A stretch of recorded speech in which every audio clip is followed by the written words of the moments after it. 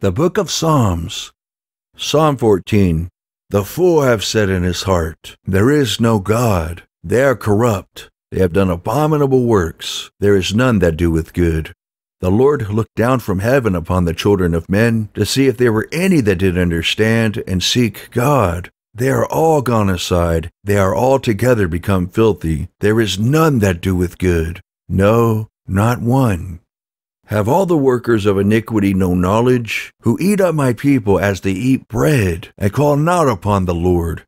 There were they in great fear, for God is in the generation of the righteous. He hath shamed the counsel of the poor, because the Lord is his refuge. Oh, that the salvation of Israel were come out of Zion. When the Lord bringeth back the captivity of his people, Jacob shall rejoice, and Israel shall be glad.